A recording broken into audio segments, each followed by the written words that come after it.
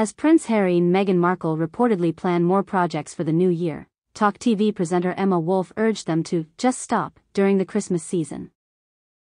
Woolf suggested a year of reflection and silence, giving both themselves and the public a break. This plea follows a challenging year for the couple, marked by Harry's controversial memoir, Meghan's Spotify deal ending, and a decline in donations to their Archewell Foundation.